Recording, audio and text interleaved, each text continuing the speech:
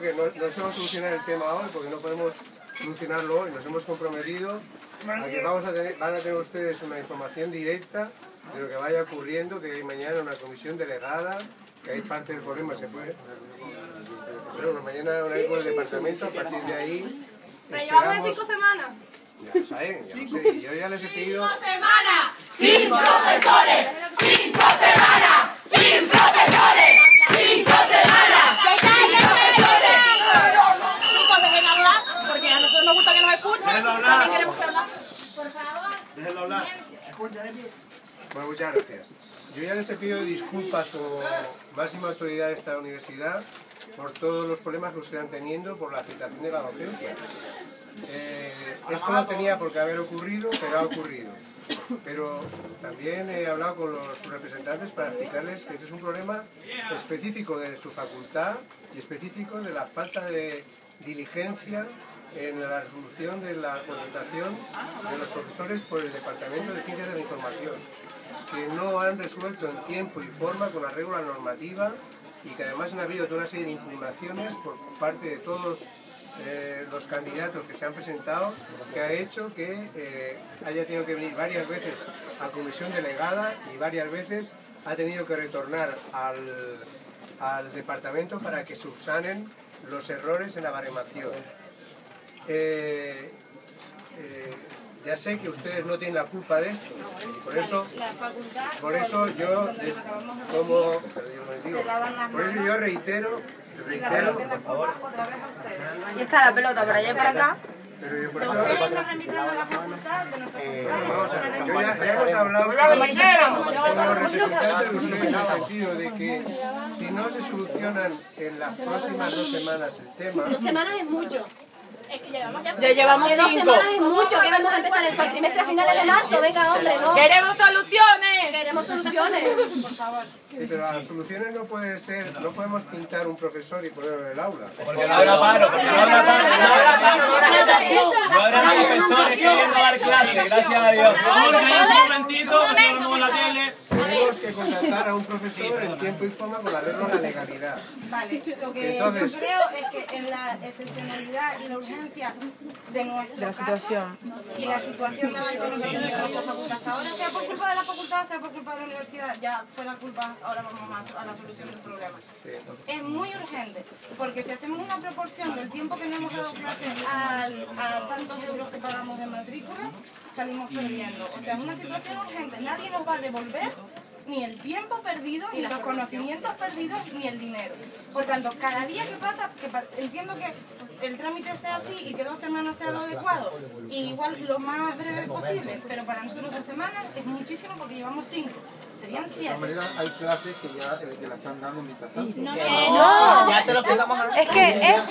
Vamos a ver, eso es lo que yo quiero aclarar con el director del departamento mañana, porque Hay dos opciones. el departamento tiene, perdón, el departamento tiene la obligación de garantizar que se estén dando las clases hasta que la situación Pero no se está haciendo. El departamento se comprometió a hacerse cargo de las clases. Lo que pasa es que nosotros sabemos, sabemos de hecho que eh, hay varios profesores que no tienen preparadas las asignaturas que están dando. Y las cinco semanas que hemos perdido ya no las podemos recuperar. ¿Qué pasará? Que lo hablamos con usted cuando se haga el traspaso del poder de unos profesores a otros. ya le dije Vale. que yo eso iba a garantizar a, decirle al que Vale, tengo una pues nosotros hemos reunión buscado mañana antecedentes de varias facultades. a que me garantice el director del departamento que esa transición sea Los cambios de profesores a mitad del cuatrimestre han pasado varias facultades y han sido un desastre. Entonces, estamos muertos de miedo con lo que pueda pasar. Por tanto, para nosotros dos semanas es demasiado. Y abril ya es impensable. Porque se cambian a cinco profesores. De cinco asignaturas que algunos tenemos las cinco. Lo que estamos diciendo es que mañana venir con el director del departamento para intentar que se agilice al máximo la resolución de las plazas Ah, de forma que no luego vayan a poder ser impugnadas y los tribunales resueltas en sentido contrario, con lo cual tendríamos que ir a los profesores que luego habría que volverlos a cambiar y sería es que peor. por eso estamos Vale, pues Lo mejor es que, lo mejor es que se resuelva de forma adecuada y definitiva el problema de la contratación, primer hecho. El segundo hecho es que garantizar, como ustedes dicen, que no les perju- perjudique el que haya habido unos profesores que lo han cambiado a otros, que haya un traspaso adecuado de, de información y de las valoraciones que haya para que ustedes no se sientan perjudicados. Hablaremos también con la decana de la facultad para que tome las medidas adecuadas de seguimiento de todos estos temas. Y eso es lo que desde el punto de vista del rector y de la luz. podemos hacer. Y una vez finalizado el proceso de contratación, como Por favor, que se quite, tomar porque contra los responsables. Vamos a ver, lo que aquí eh, las sanciones siempre eh, es un sistema garantista que tenemos, se va a poner en conocimiento del inspector los hechos que ustedes han denunciado y que nos parece que... eh, por favor, no, no hace falta, no hace falta. Increíble. que, que nos parece que, que ustedes han denunciado una serie de hechos que en principio nos parece que no son correctos y eso lo vamos a poner en conocimiento del inspector y también tomaremos decisiones respecto al departamento si no encontramos la cooperación necesaria para que eso se resuelva de, de la mayor brevedad. Del proceso de contratación si se deja pasar. Sí, pero Es, es lógico, por eso ya lo hemos hablado antes con sus representantes, que eso es una medida legal que puede hacer el rector, que es que advocar las competencias que tiene el departamento en la comisión delegada. Pero eso es un proceso eh, en el que tendríamos que, que contar con expertos externos, porque ninguno de los que forman la comisión delegada son eh, de la Facultad de Periodismo, no tienen los, la- los criterios de valoración de quién es mejor este candidato o este otro. Eso normalmente lo tienen que hacer periodistas, profesores de periodismo. De esta universidad tendrían que ser de otra universidad. Y eso retrasaría un poco. Lo mejor sería que por las buenas, con el departamento, subsanáramos todos los problemas y se resolviera, porque eso sería lo más rápido y lo más eficaz. Eso es una de las cosas que yo mañana le voy a Pero, hablar al director del no menos palabras. entonces haremos la loca.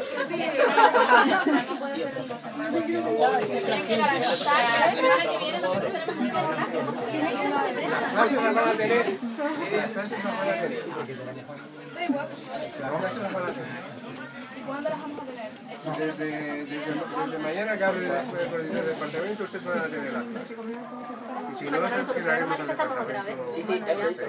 No van a parar las manipulaciones hasta que no nos den una solución. Sí, o sea, si no...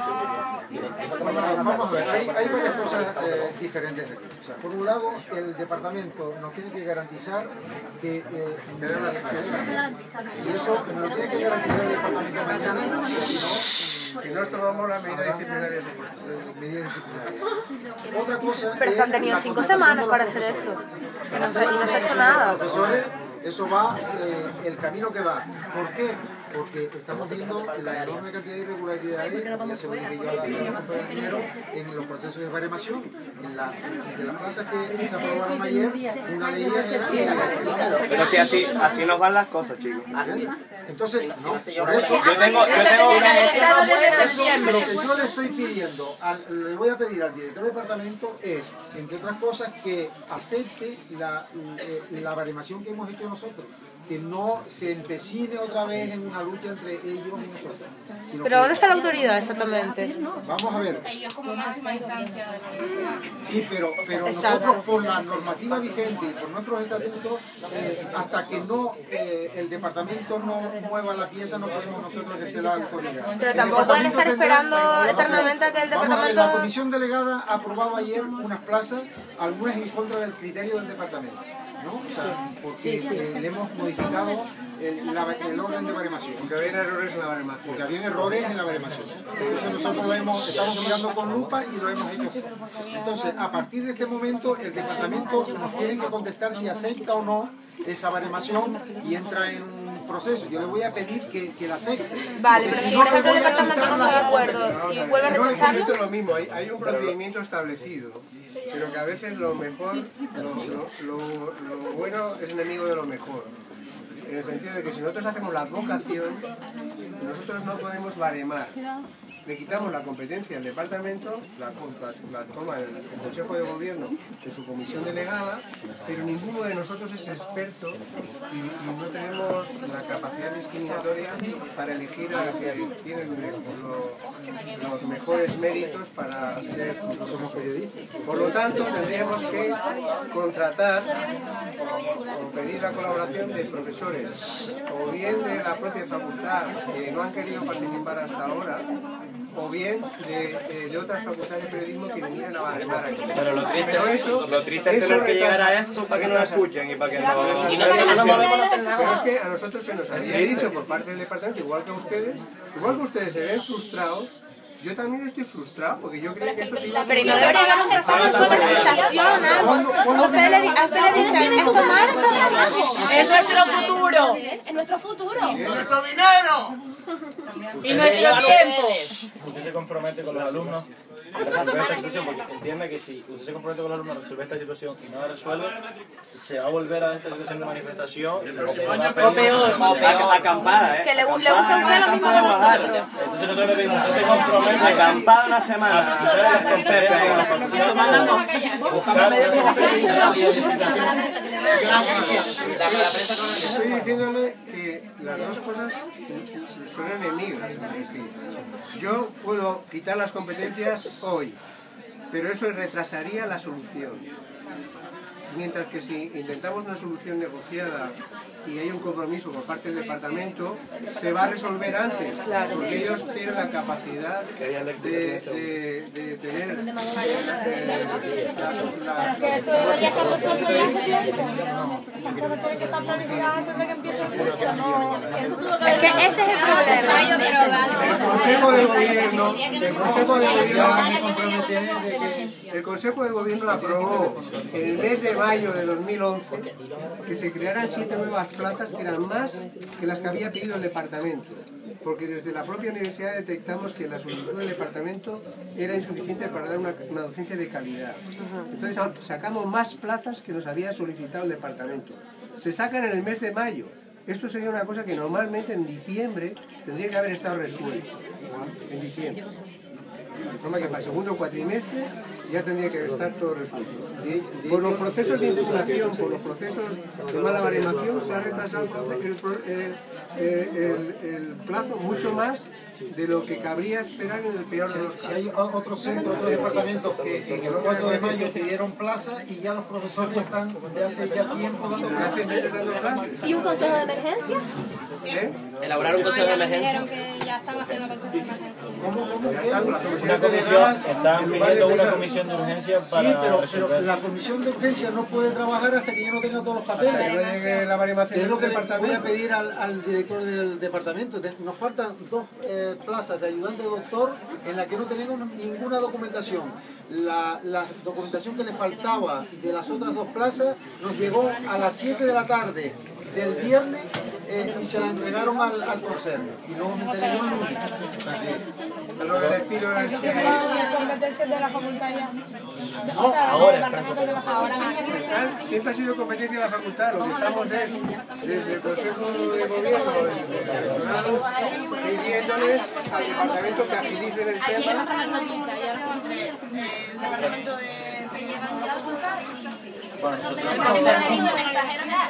Porque ellos eh, les acusan a ustedes y ustedes a ellos. Por tanto, aquí realmente no se sabe dónde está la Competencia. no puede haber, pero aquí la decisión la toma la comisión delegada, que es la que aprecia irregularidades.